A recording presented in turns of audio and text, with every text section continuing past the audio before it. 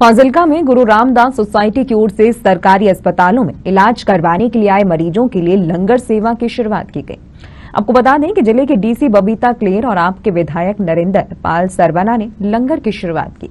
वहीं गुरु रामदास सोसाइटी के सदस्य सरदार बूटा सिंह ने कहा कि बयालीस अस्पतालों में उनके द्वारा लंगर की सेवा दी जा रही है।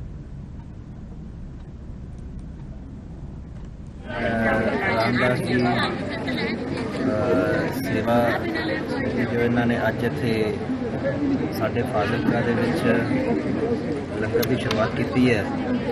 ਮੈਂ ਧੰਨਵਾਦ ਕਰਾਂਗਾ ਸਾਰੀ ਟੀਮ ਦਾ ਔਰ ਸਪੈਸ਼ਲੀ ਤੌਰ ਤੇ ਮੈਂ ਸਾਡੇ ਜ਼ਿਲ੍ਹੇ ਦੇ ਡਿਪਟੀ ਕਮਿਸ਼ਨਰ ਸ਼੍ਰੀਮਤੀ ਬਬੀਤਾ ਜੀ ਸਾਡੇ ਜੋ ਇੱਥੋਂ ਦੇ ਡਿਪਟੀ ਕਮਿਸ਼ਨਰ ਨੇ, ਉਹਨਾਂ ਦਾ ਧੰਨਵਾਦ ਕਰਾਂਗਾ। ਜਿਨ੍ਹਾਂ ਨੇ ਇਸ ਟੀਮ ਨਾਲ ਸੰਪਰਕ ਕੀਤਾ ਔਰ ਅੱਜ ਫਾਜ਼ਿਲਕਾ ਦੇ ਵਿੱਚ ਇਹ ਟੀਮ ਸਾਰੀ ਪਹੁੰਚੀ ਹੈ। ਜਿਨ੍ਹਾਂ ਨੇ ਮਰੀਜ਼ਾਂ ਲਈ ਔਰ ਉਹਨਾਂ ਦੇ ਜੋ ਜਿਵੇਂ ਤੁਹਾਨੂੰ ਐਮਐਲਏ ਸਾਹਿਬ ਨੇ ਦੱਸਿਆ ਸਾਡੇ ਕੋਲ ਸ਼੍ਰੀ ਰਾਮਦਾਸ ਜੀ ਲੰਗਰ ਸੇਵਾ ਸੁਸਾਇਟੀ ਹੈਗੀ ਨੇ। ਆਲਰੇਡੀ ਕਾਫੀ ਜ਼ਿਲ੍ਹਿਆਂ ਦੇ ਵਿੱਚ ਆਲਰੇਡੀ ਸਿਵਲ ਹਸਪੀਟਲਸ ਦੇ ਵਿੱਚ ਲੋਕਾਂ ਨੂੰ ਲੰਗਰ ਪ੍ਰੋਵਾਈਡ ਕਰਦੇ ਨੇ ਜਿਹੜੇ ਸਿਵਲ ਹਸਪੀਟਲਸ ਦੇ ਵਿੱਚ ਮਰੀਜ਼ ਆਉਂਦੇ ਨੇ। ਜੀ। ਫਗਵਾੜੇ ਨੇ ਸੀ ਜਦੋਂ ਮੈਂ ਏਡੀਸੀ ਸੀ ਉੱਥੇ ਵੀ ਇਹਨਾਂ ਨੇ ਸ਼ੁਰੂ ਕੀਤੀ ਸੀ। ਹੁਣੇ ਉਹ ਮੁਕਤਸਰ ਵਿੱਚ ਵੀ ਇਹਨਾਂ ਨੇ ਸ਼ੁਰੂ ਕੀਤਾ ਤੇ ਹੋਰ ਵੀ ਕਈ ਜਗ੍ਹਾ ਦੇ ਉੱਤੇ ਹੈ।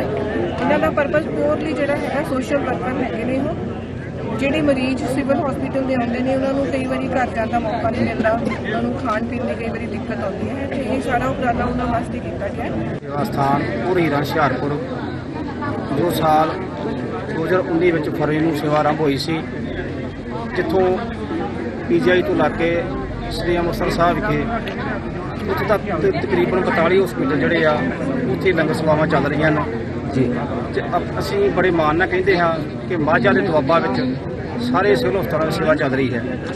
ਇਸ ਤੋਂ ਇਲਾਵਾ ਸਾਡਾ ਸ੍ਰੀ ਅੰਮ੍ਰਿਤਸਰ ਸਾਹਿਬ, ਲੁਧਿਆਣਾ, ਜਲੰਧਰ ਵਿਖੇ ਮੋਬਾਈਲ ਗੱਡੀਆਂ ਰਾਹੀਂ ਬੱਸ ਸਟੈਂਡ, ਰੇਲਵੇ ਸਟੇਸ਼ਨ ਅਤੇ ਹੋਰ ਲੋੜਵੰਦ